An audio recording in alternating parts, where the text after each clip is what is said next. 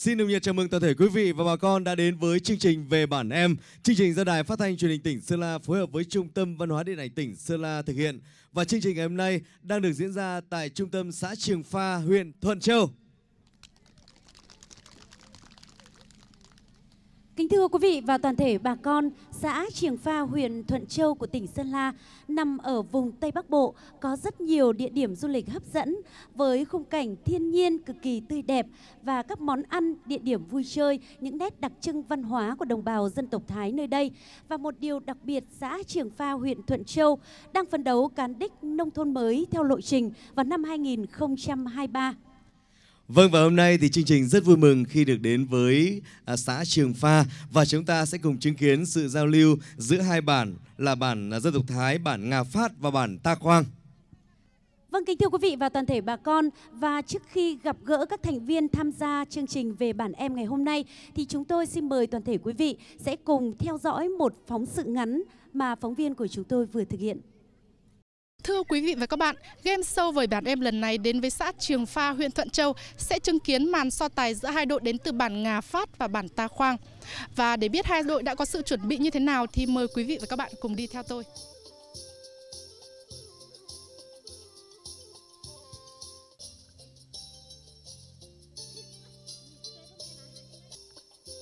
Xã Trường Pha, huyện Thuận Châu chủ yếu là đồng bào dân tộc Thái sinh sống.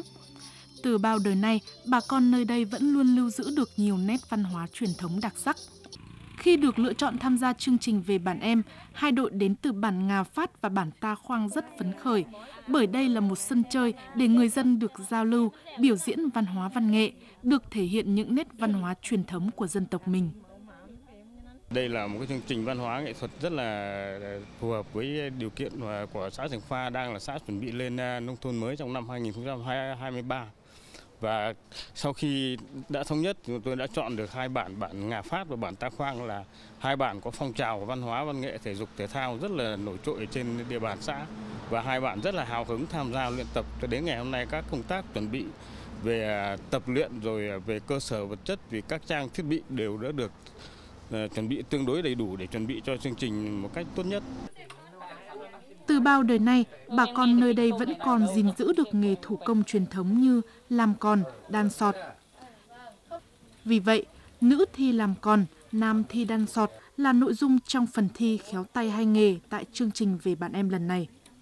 Các sản phẩm từ nghề truyền thống không những phục vụ đời sống sinh hoạt trong mỗi gia đình mà còn là sản phẩm kết tinh thể hiện nét văn hóa của đồng bào dân tộc Thái. Chúng tôi đã được xem chương trình về bản em ở trên TV thôi. Bây giờ chương trình đã bị, đã đến với bản chúng tôi. Chúng tôi cảm thấy rất là vui. Các thành viên trong đội cùng nhau cố gắng luyện tập để đem đài phần thi hay nhất. Đội chúng tôi cảm thấy rất tự tin về phần thi của mình. Với thế mạnh là phong trào văn nghệ quần chúng phát triển, cả hai đội đã lựa chọn những hạt nhân văn nghệ tiêu biểu để tổ chức tập luyện – múa và khắp thái là hai thể loại mà bản Ngà Phát và bản Ta Khoang sẽ mang tới chương trình trong phần thi dân ca dân vũ. Những hạt nhân được lựa chọn tham gia phần thi này đều là những người tài năng, tâm huyết với văn hóa nghệ thuật dân tộc Thái, có khả năng sử dụng thành thạo các loại nhạc cụ truyền thống. Đội chúng tôi là luyện tập chăm chỉ, à, lựa chọn những tiết mục văn nghệ đặc sắc nhất để ờ, quảng bá những nét đẹp truyền thống của ờ, dân tộc mình.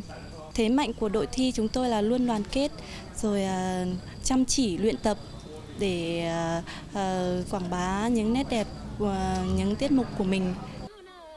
Với sự đầu tư và chuẩn bị kỹ lưỡng, đến với sân chơi về bản em lần này, hai đội thi đến từ bản Ngà Phát và bản Ta Khoang xã Trường Pha hứa hẹn sẽ đem đến những phần thi gây cấn và sôi nổi.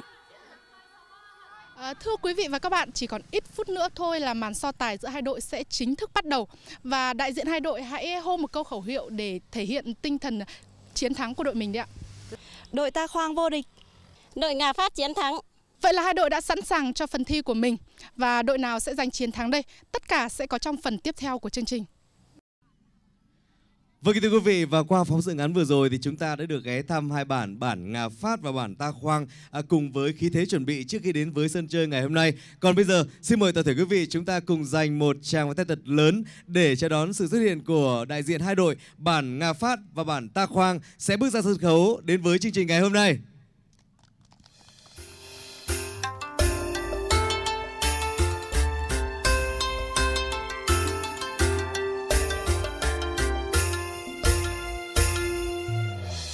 Vâng kính thưa quý vị, đang hiện diện trên sân khấu lúc này là đại diện à, những thành viên của hai đội chơi bản Ngà Phát và bản Ta Khoang.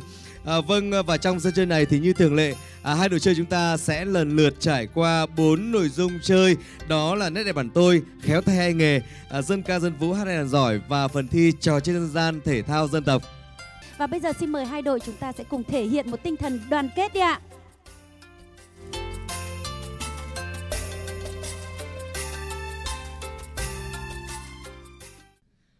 Vâng thưa quý vị và để đưa ra những đánh giá, những nhận xét đồng thời cho điểm hai đội chơi không ai khác đó là ba vị trong ban thẩm định của sân chơi về bản em. Và ngay sau đây Giám Tú Hằng Nga xin được giới thiệu ba vị trong ban thẩm định của sân chơi ngày hôm nay. Vâng, chúng tôi xin được trân trọng giới thiệu vị thẩm định số 1, ông Trương Văn Trung, Phó Giám đốc Trung tâm Truyền thông Văn hóa huyện Thuận Châu. Vâng, xin được trân trọng giới thiệu vị thẩm định số 2, ông Nguyễn Ngọc Thắng, Phó Chủ tịch Ủy ban Nhân dân xã Trường Pha, huyện Thuận Châu. Vâng, chúng tôi xin được trân trọng giới thiệu vị thẩm định số 3, bà Cà Thị Bình, Ủy viên Ban chấp hành Đảng bộ, Chủ tịch Hội Liên hiệp Phụ nữ xã Trường Pha, huyện Thuận Châu. Vâng, thưa quý vị, đó là ba vị trong ban thẩm định. À, qua mỗi phần thi thì ba vị trong ban thẩm định sẽ có những nhận xét, đánh giá, đồng thời cho điểm hai đội chơi bằng hình thức à, dơ thẻ hồng hoặc thẻ xanh. Thẻ hồng là dành cho những phần thi xuất sắc hơn và khi tổng hợp lại, à, đội nào giành được nhiều số thẻ hồng hơn thì đội đó sẽ giành chiến thắng. Và ngay sau đây thì không để quý vị và bà con chúng ta chờ đợi lâu hơn nữa, chúng ta sẽ cùng đến với phần thi đầu tiên trong chương trình ngày hôm nay, đó là phần thi Nét, Nét đẹp bản, bản tôi.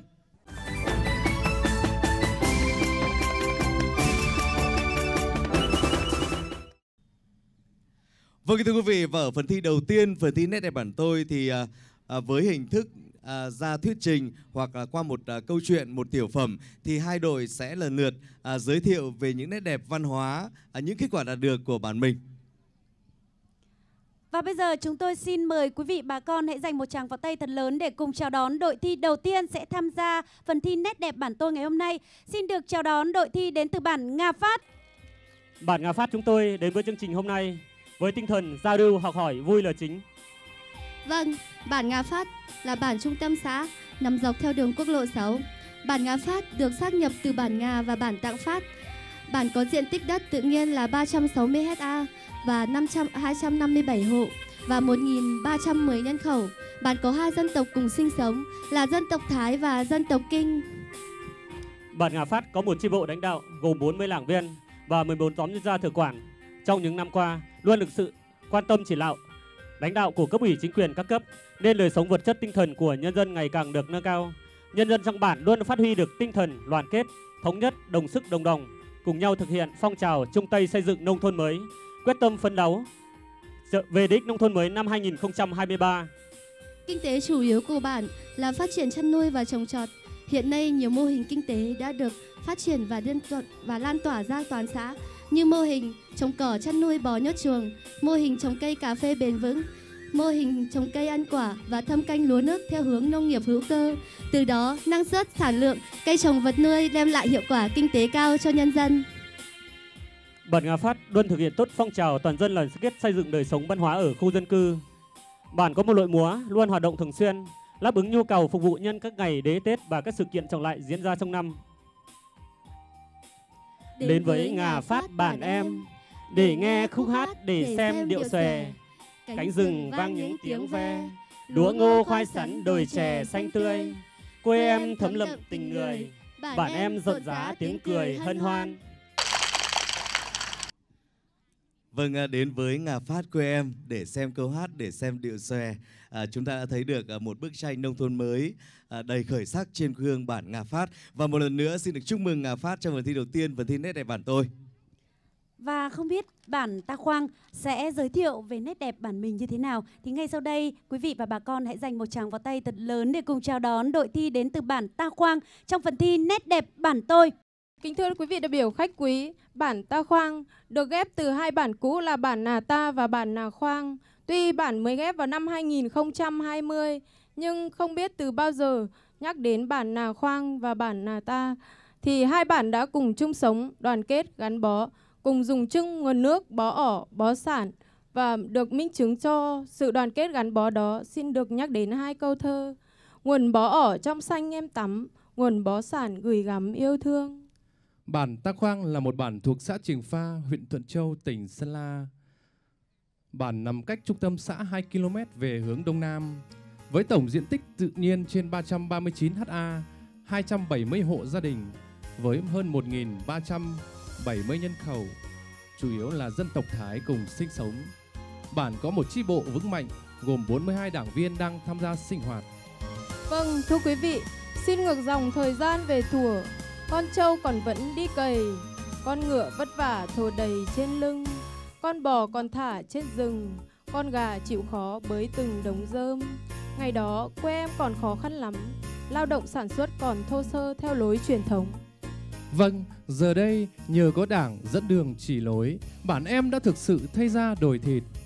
Đường làng ngõ xóm đổi thay, chẳng lo chân trượt, bùn lầy lúc mưa.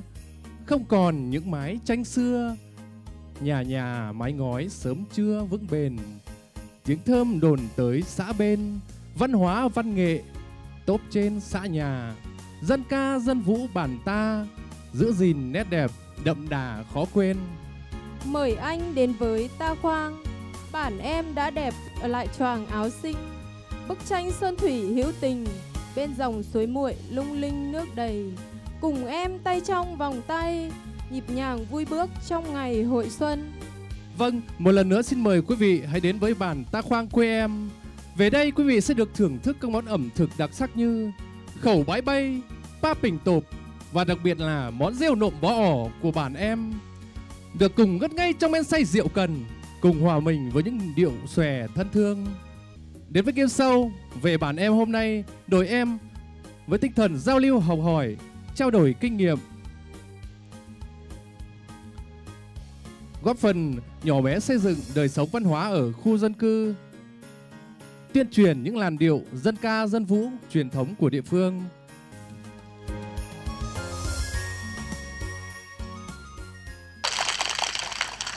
Vâng, à, qua lời giới thiệu của bản à, Ta Khoang trong phần thi nét đẹp bản tôi thì chúng ta cũng đã hình dung ra được à, một à, bức tranh sơn thủy hữu tình đúng không ạ? Một bức tranh à, quê hương đổi mới bên dòng suối muội của đó là bản Ta Khoang. Và một lần nữa thì chúng ta sẽ cùng chúc mừng cho hai đội chơi bản Ngà Phát và bản Ta Khoang đã hoàn thành xong phần thi nét đẹp bản tôi. Vâng, còn ngay bây giờ chúng ta sẽ gặp lại ba vị trong ban thẩm định à, để xem ba vị trong ban thẩm định sẽ cho điểm phần thi đầu tiên, phần thi nét đẹp bản tôi cho hai bản như thế nào. Vâng, trước tiên xin mời ban thẩm định à, trong phần thi đánh giá nét đẹp bản tô của bản Ngà Phát ạ. Vâng, hai thẻ hồng, một thẻ xanh dành cho bản Ngà Phát trong phần thi nét đẹp bản tôi. Còn bản Ta Khoang thì sao ạ? Vâng ạ, đối với bản Ta Khoang thì đã giành được 3 thẻ hồng tuyệt đối từ ban thẩm định trong phần thi nét đẹp bản tôi. Xin chúc mừng bản Ta Khoang. Và một lần nữa xin được chúc mừng hai đội chơi đã hoàn thành xong phần thi đầu tiên. Và ngay sau đây thì chúng ta sẽ cùng đến với một phần thi cũng rất là thú vị và hấp dẫn. Đó là phần thi khéo, khéo tay, tay hay nghề. nghề.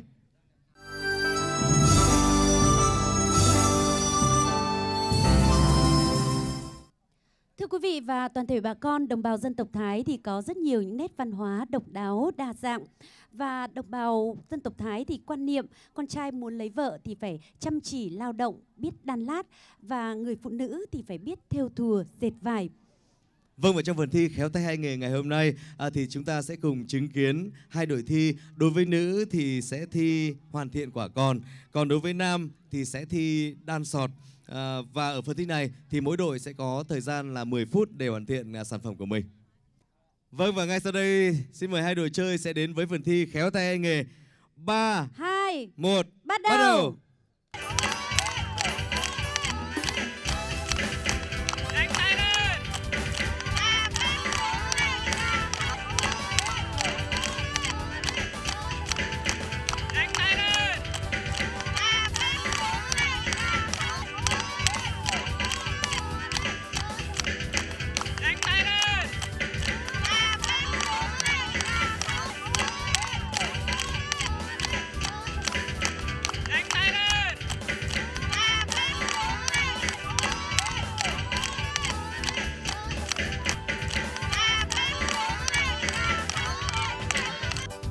Thời trong phần thi kéo tay hai nghề của chúng ta còn 2 phút nữa.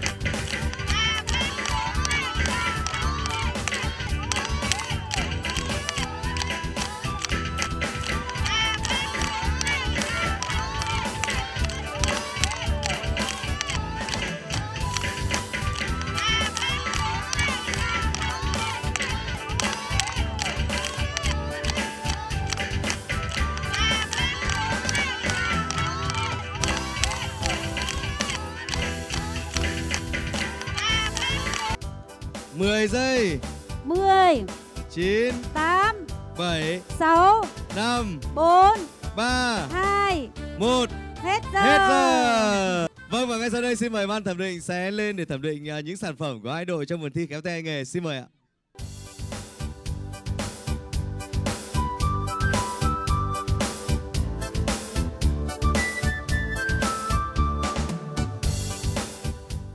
Thưa quý vị đại biểu cùng à, toàn thể à, bà con cũng xin chúc mừng à, hai đội với những một thời gian rất ngắn nhưng mà vì các nội dung, các duy trì được cái công cụ làm nông nghiệp hàng ngày thì mong rằng nhân dân tiếp tục duy trì các cái nghề truyền thống như đan lát và để phục vụ nông nghiệp hàng ngày của nhân dân. Thì hai đội thì cũng đã thể hiện rất tốt nhưng mà về à, đánh giá của hội đồng thẩm định thì à, à, đội Na Phát thì có phần chuẩn bị nan cũng như là đan thì tốc độ là chậm hơn đội Ta Khoang nhưng mà Na Phát thì thể hiện được nó, chắc chắn hơn và nhẵn đẹp hơn. Vâng, cho qua một thời gian thẩm định cái sản phẩm quả còn của giữa hai đội thì quả còn của đội Ta Khoang là, là nhồi được nhiều hơn và nhồi chắc chắn hơn. Còn à, đội Ngà Phát thì nhồi à, lỏng hơn và ừ, số lượng thì được ít hơn. Nhưng về màu sắc thì lại tươi tắn hơn và đẹp hơn. Vâng ạ, như vậy là chúng ta vừa đến với nhận xét của ban thẩm định à, rất kỹ càng đúng không ạ? Trong phần thi đan sọt cũng như làm quả còn. Và đối với phần thi làm quả còn thì bên bản Ta Khoang đã được 4 quả, còn bên bản Ngà Phát được hai quả. Vâng, sau đây xin mời ban thẩm định về vị trí để dơ thẻ cho điểm ạ. Vâng và sau đây xin mời ban thẩm định sẽ dơ thẻ cho điểm đầu tiên là phần thi đan sọt à, đối với bản Ngà Phát ạ. Vâng, ba thẻ hồng, còn bản Ta Khoang thì sao ạ? Hai hồng, một xanh. Vâng, xin cảm ơn ạ. Vâng và chúng ta sẽ cùng đến với phần uh, dơ thẻ trong phần thi uh, làm quả còn ạ. Và trước tiên là đội thi của bản Ngà Phát ạ. Vâng ạ, hai hồng một xanh dành cho phần thi làm quả còn của bản Nga Phát. Còn ờ, bản Ta Khoang thì sao ạ? Vâng, ba thẻ hồng tuyệt đối. Xin chúc mừng bản Ta Khoang. Vâng quý vị và bà con đang đến với sân chơi về bản em. Chương trình đang diễn ra tại trung tâm xã Trường Pha, huyện Thuận Châu. Và ngay sau đây chúng ta sẽ đến với nội dung tiếp theo. Đó là phần thi Hát hay đàn giỏi.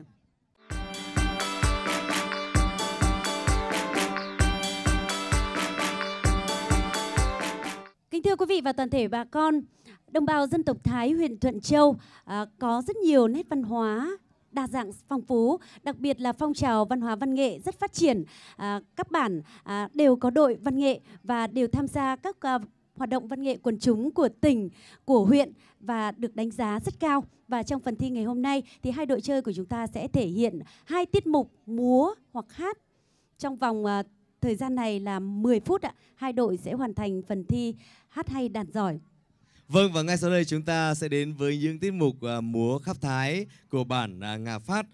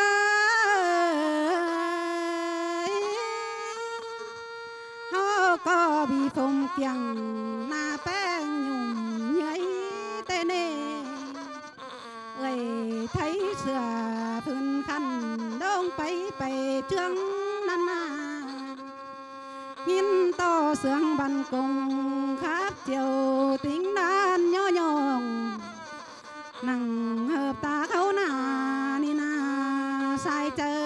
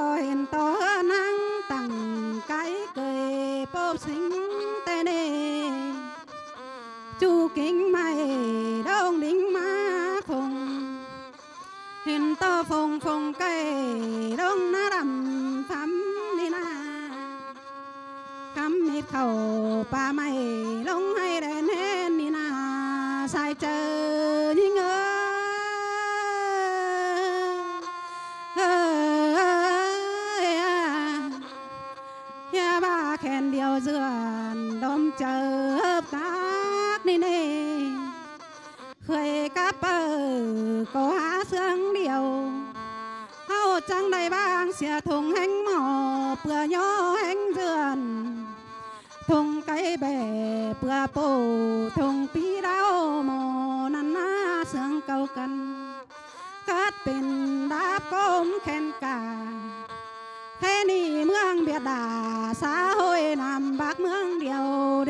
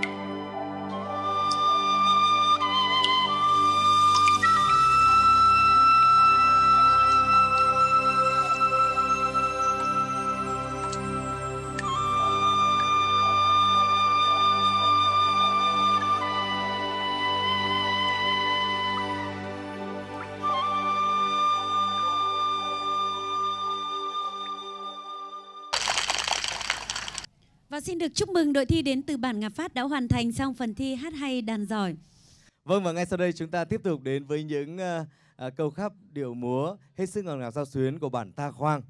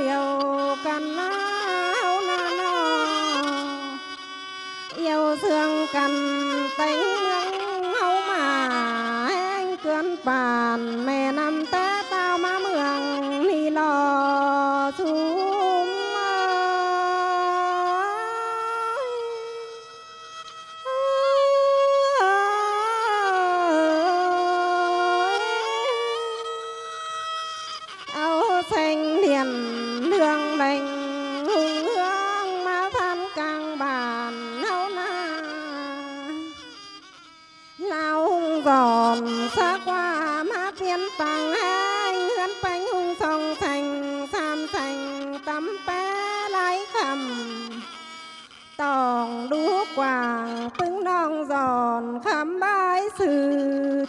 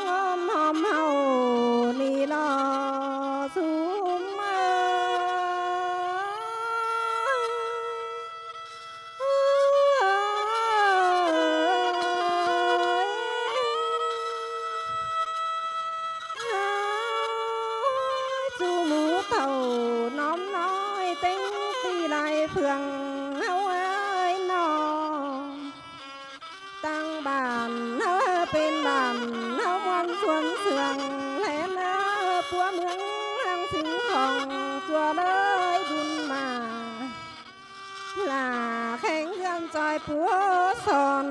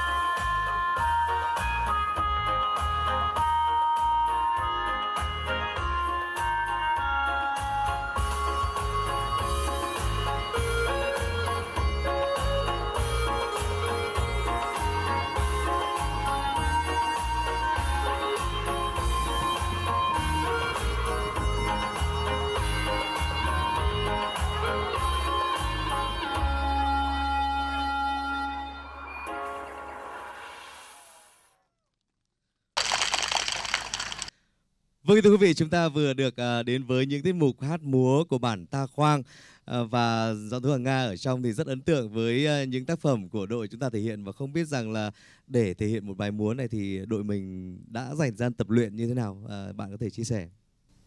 Dạ vâng, đến với chương trình về bản em, đội chúng em luôn chăm chỉ luyện tập và uh, chủ yếu là tập vào buổi tối vì ban ngày là các chị em đều là đi làm uh, việc nhà hết ạ.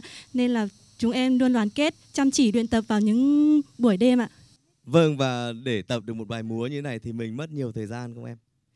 Vâng, à, cũng tùy vào từng người anh ạ. Rồi um, có người thì hiểu nhanh, có người hiểu ít thì để nó um, múa được một bài đẹp thì ít nhất thì cũng một tuần ạ.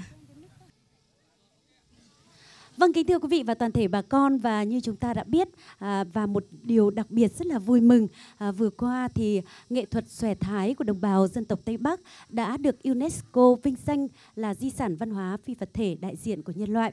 À, vậy thì à, bạn có thể chia sẻ là những cái điệu múa mà vừa rồi à, đội của mình thể hiện có phải là được phát triển từ những điệu xòe cổ của đồng bào dân tộc Thái mình không? Dạ vâng, đúng rồi. À, chúng tôi sẽ kết hợp với các à, động tác xòe thái rồi để à, để thành bài múa.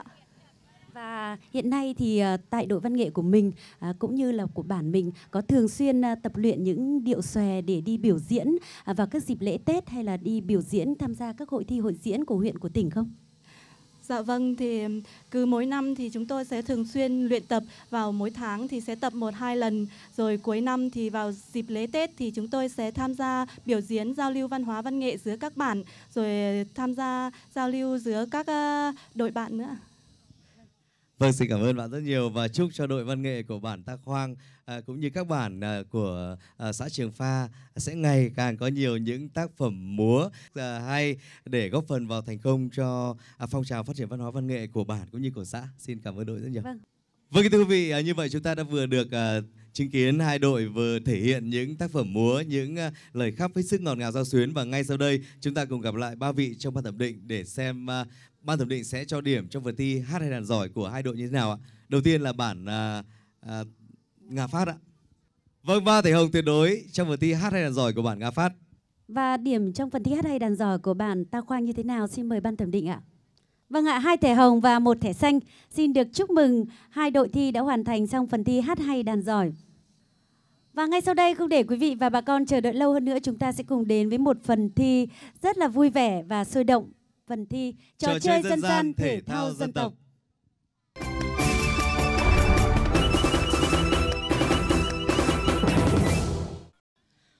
Vâng thưa quý vị và bà con và ở phần thi trò chơi dân gian thể thao dân tộc này thì hai đội của chúng ta ngày hôm nay à, sẽ chơi phần thi đó là bịt mắt đánh trống. Và mỗi đội sẽ lựa chọn ra 10 thành viên à, gồm 5 nam 5 nữ. À, và chúng ta sẽ thi bịt mắt đánh trống ở, ở khoảng cách từ điểm xuất phát đến à, điểm đặt trống là 10 mét. Và đội nào đánh được nhiều trống hơn đánh được chính xác và vào trống thì sẽ giành được điểm số.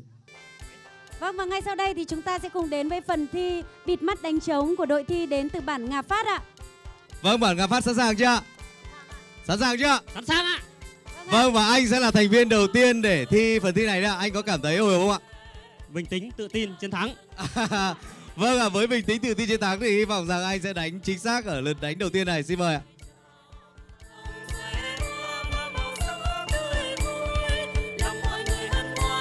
Được chưa? Bắt đầu.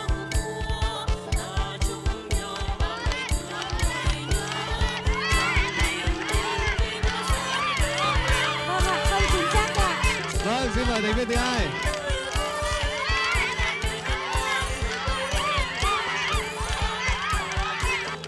Rất tiếc chỉ còn một bước chân nữa thôi là chị đã đánh chính xác vào trống rồi ạ. Vâng, xin mời thành viên tiếp theo. Chị hãy đưa dù cho anh ạ.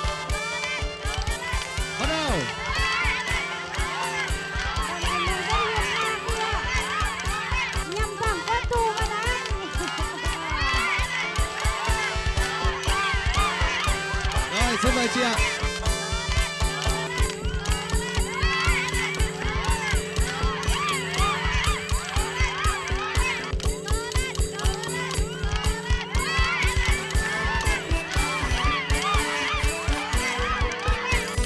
Vâng, như vậy một nửa thành viên của à, Ngà Phát đã bịt mắt để đi đánh trống và chưa chưa đánh trúng một uh, lần nào ạ.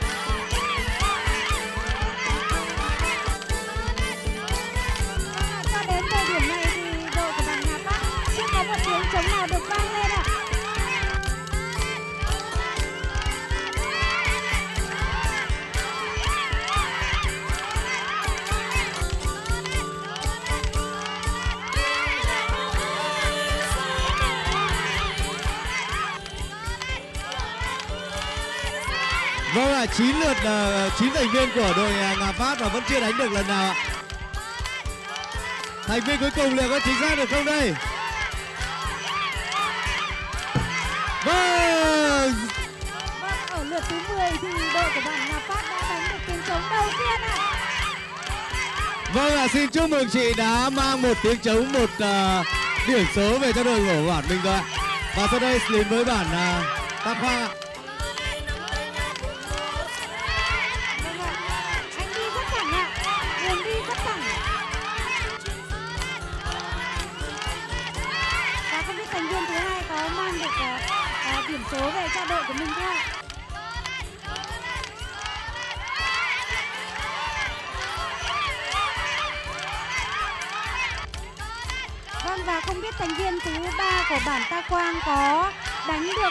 Trống và mang số điểm về cho đội mình không ạ? Không được rồi. Vâng, bản uh, Ngà Phát mới được một lần đánh vào trúng trống thôi, còn uh, bản Ta Khoang đến hiện giờ thì cũng chưa được một lượt nào. Tuy nhiên chỉ cần đúng trúng được hai lượt thôi thì bản Ta Khoang sẽ giành chiến thắng.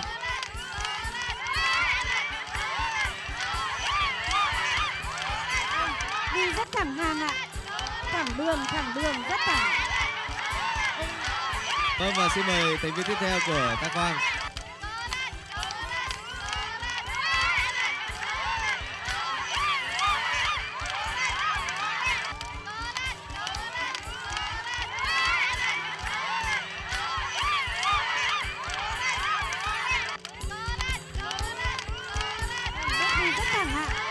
rất Vâng, đi. Lần này hy vọng sẽ trúng ạ. Trúng lại, trúng ạ. Vâng rất tiếc cách đúng 10 cm ạ.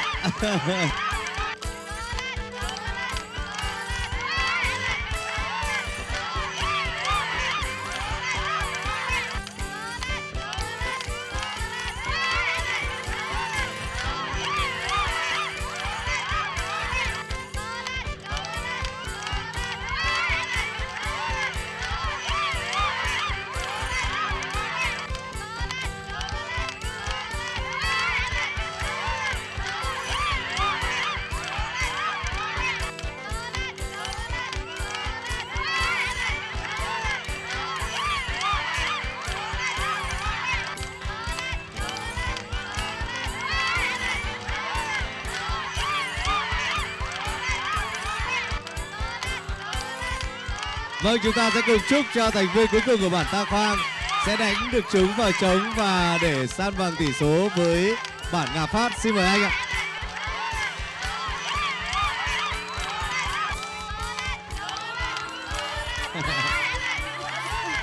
Những bước đi thì đầy tự tin nhưng mà đã đánh hơi trượt rồi.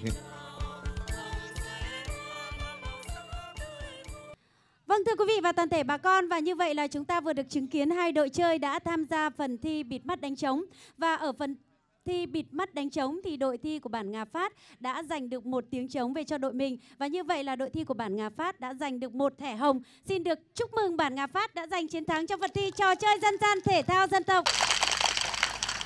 Kính thưa quý vị và toàn thể bà con và như vậy là sau gần một giờ đồng hồ chúng ta đã được chứng kiến hai đội chơi đã trải qua bốn phần thi đã đem đến những lời ca, những lời khắp, những điệu múa đầy ngọt ngào và các ngành nghề truyền thống. Và ngay sau đây thì chúng ta sẽ cùng đến với phần tổng kết trao giải trong chương trình về bản em. Và trước khi đến với phần tổng kết trao giải thì ban tổ chức sẽ có những phần quà hỗ trợ cho các gia đình khó khăn, gia đình chính sách của hai bản.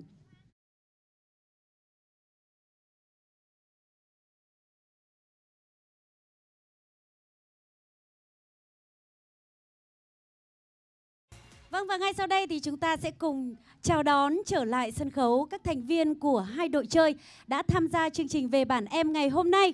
Xin được chào đón đội thi của bản Nga Phát và đội thi của bản Ta Khoang ạ.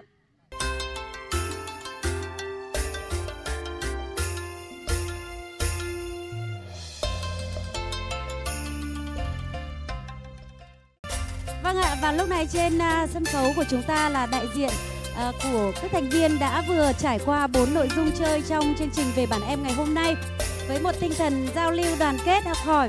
Và trước khi công bố giải nhất giải nhì trong chương trình về bản em ngày hôm nay thì chúng tôi xin được uh, công bố xuất sắc nội dung thi của bốn phần thi. Ở phần thi nét đẹp bản tôi xin được chúc mừng bản Ta Khoang ạ. Vâng và ở phần thi khéo tay nghề xin chúc mừng bản Nga Phát. Và ở phần thi dân ca dân vũ xin được chúc mừng bản Nga Phát. Vâng và một lần nữa ở phần trò chơi dân gian thể thao dân tộc chúng ta cũng lại dành sự chúc mừng đối với bản Nga Phát ạ. Và chúng tôi xin được uh, trân trọng kính mời ông Trương Văn Trung, Phó Giám đốc Trung tâm Truyền thông Văn hóa huyện Thuận Châu và ông Lò Văn Hoan, Phó Bí thư Đảng ủy, Chủ tịch Ủy ban Nhân dân xã Trường Phao, huyện Thuận Châu sẽ lên trao giải ấn tượng cho hai đội chơi của chúng ta.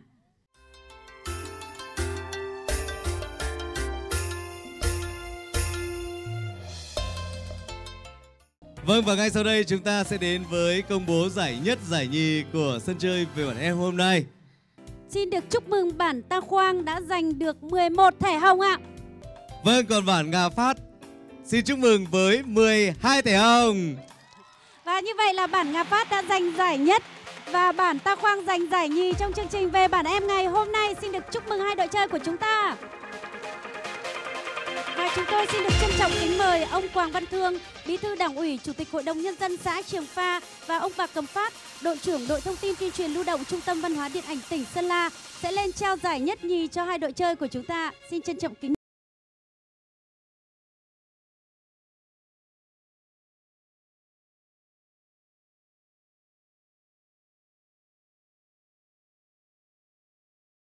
Và chương trình à, sân chơi về bản em do Đài Phát thanh Truyền hình tỉnh Sơn La phối hợp với Trung tâm Văn hóa Điện ảnh tỉnh Sơn La tổ chức tại xã Trường Pha đến giờ phút này đã thành công rực rỡ. Ban tổ chức xin được một lần nữa trân trọng cảm ơn uh, Trung tâm Truyền thông Văn hóa huyện Thuận Châu, Ủy ban nhân dân xã Trường Pha huyện Thuận Châu và xin cảm ơn hai bản bản Ngà Phát và bản Ta Khoang đã nhiệt tình tạo điều kiện và tham gia sân chơi ngày hôm nay.